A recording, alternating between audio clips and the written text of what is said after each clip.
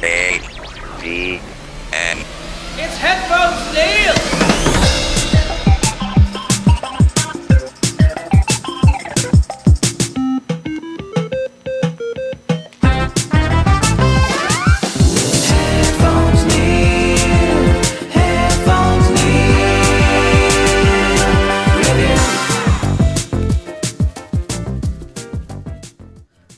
What's up, guys, and welcome back to another episode of Headphones Neil Reviews. I'm your host, as always, Headphones Neil, bringing you a little bit of a shorter episode for this week. So, I didn't get a chance to watch as much as I wanted, um, even though I did get to start watching um, Indiana Jones and the Dial of Destiny. I did fall asleep a couple of times through the movie. Um, not to say that it was boring, most of it was actually super interesting, but I've um, been drained from work, so I just never got through it. I would fall asleep for like 15 minutes at a time and be lost. So I figured this weekend would be a good time to watch the movie in full, get a good night's rest, drink some extra coffee or something, and watch the movie from beginning to end uninterrupted. But that being said, that doesn't mean that there isn't other content to review. So to start it off, um, the, I did have a chance to watch this week's episode of episode of Ahsoka. So season one, episode three, Time to Fly. Um, overall, this kind of felt like a stepping stone episode. We saw, you know, Sabine ga- practicing her um, fighting technique a little bit to um, become less rusty. We had a space chase scene um, and a little bit more of the understanding between Ahsoka and Sabine to work together as a team, that they work better together, and all of that stuff.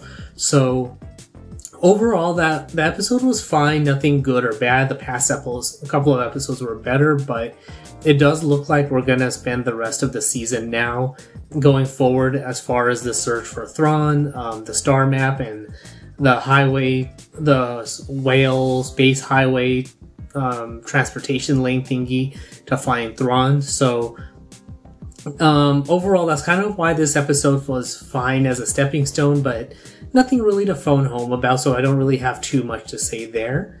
Um, otherwise, I have been continuing to watch Stargate SG1, so I finished season 4, I'm in, and I'm now in the middle of season 5. Um, overall, the show continues to be good. Season 4 seems like it was a lot more on the side of the side effects of going to other galaxies, space travel, meeting aliens, being the forefront command with all the stuff that's going on. So, you know, um, Major Carter's um, got possessed by has been, or not possessed by, but gotten taken, had a Goa'uld in her, gotten taken over by a space robot AI. Um, all the stuff that Colonel O'Neill's gone through. Um, Teal'c, um, still being the um, traitor, but then also going back into the service of Apophis and then being unbrainwashed and all of that. Uh, Daniel Jackson and losing Sha're and um, losing his professor mentor guy.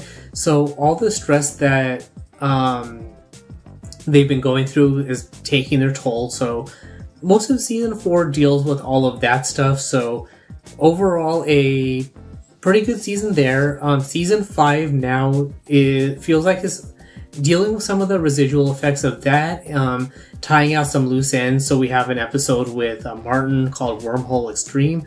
So that episode is okay. It's like a making a parody of Stargate SG One, but the last episode with Martin um, was actually the better episode, I thought. So um, things like that. So they're kind of rounding out the existing stuff so they can move forward.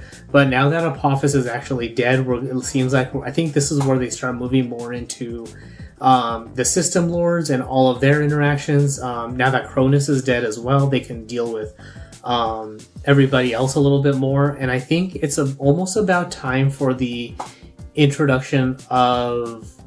I think not a pop. I think a pop, not a Apophis. He was the brother of Rob, but the um Goa'uld that was risen and like trying to ascend but was kicked out or whatever. Maybe that was a. Well, I don't think that was a Apophis, so I'm drawing a blank on who that was now. But um, I think it's about time for him because we have you know the return of uh, Tanith and some and um, what's her name? Daniel's ex girlfriend got possessed by the Goa'uld as well. So um, I think it was Osiris. So all of that I think is going to start coming up in season six. So season five kind of deals with um, that transition. So that's kind of where we're at now. So not that the episodes are bad, but it's just that weird transition episode from the show's beginnings and dealing with those timelines and story arcs, and then moving now into the um, second third of the show um, to deal with the uh, rest of the Goa'uld, and then ultimately transition from there into the Ori. And then now to round out this particular episode, I had a chance to finish playing episode one of Wolfenstein 3D called Escape from Wolfenstein. And overall, I want to say that I'm very impressed with um, not only the game and what it was, what it's doing, but also the conversion of um, Brutal Wolfenstein to recreate the game into a more Doom-like experience. So while the first few levels are generally just flat levels like the original Wolfenstein 3D, um, a lot of the color mappings and decorations and upgrades and upscales make it look a lot better than the old than the original Wolfenstein 3D to the point where it feels like Wolfenstein or, or Brutal Wolfenstein 3D could have been released in the same year as Doom and just been similar games to each other but with different stories.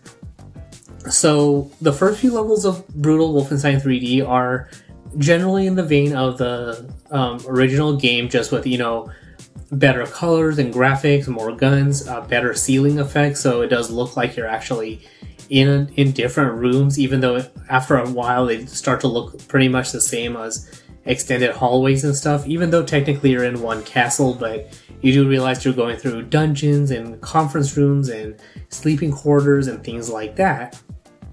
But by the time you get into the second half of the game, or second half of the episode, and notably into the last couple of uh, levels, you do realize the expansiveness of it because at one point you do get to go outside in one of the levels, and then um, I think in level 1 8 is where you kind of have more of a dungeon look and feel, but you do have, you know, the going up and down stairs and um, you get to see like more the castle seems more expansive because the rooms are bigger.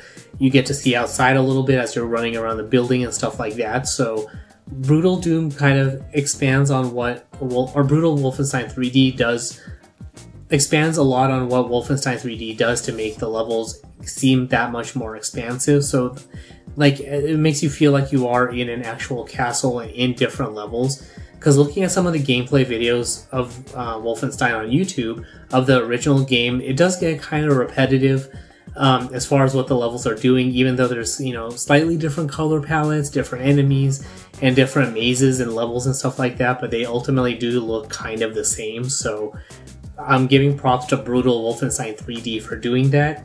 And even in the and this actually does. Um, ultimately come together in the final level of the episode. So when you're fighting the guy who's, bro- I guess you killed the guy's bro- the, the first boss's brother, so he's there to take revenge on you. So when you're in that final room, it does look like you're in a kind of mini arena. So you do have to take care of the guards on the left and right that are up on ledges.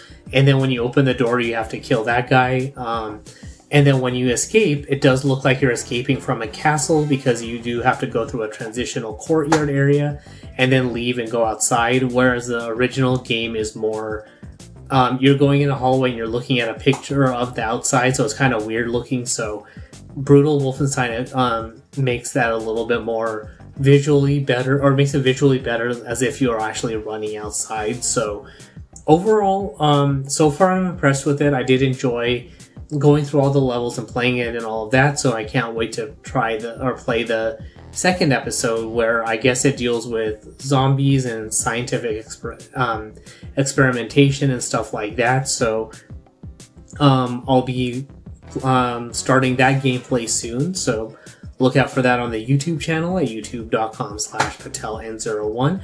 But that is all for this particular episode. Um, next week's episode, like I mentioned, I will work on getting through Indiana Jones and the Dial of Destiny, so I can review that. Um, and then I'll be continuing to, you know, the same things I reviewed today. I'll be continuing those for those. So the next episode of Ahsoka, continuing to watch Stargate SG One, and I'll probably be starting Brutal Wolfenstein or continuing Brutal Wolfenstein 3D in the next couple of days.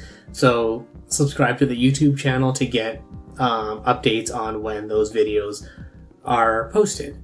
Um, otherwise, you can subscribe to the show, get past episodes, um, get subscription links, support the show, and all of that by visiting the website at headphonesneil.reviews or supporting the show directly on Patreon at patreon.com slash pateln01 where you can get early access to the episodes, um, ad-free versions of the show as well, and all of that good stuff. That's at patreon.com slash pateln01. But thanks for tuning into this particular episode, and until next